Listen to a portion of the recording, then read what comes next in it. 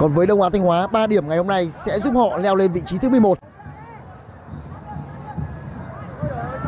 Ở giai đoạn khốc liệt và khoảng cách điểm không nhiều. Đánh tung! Chị của thủ lĩnh tinh thần Hoàng Đình Tùng đã xứng đáng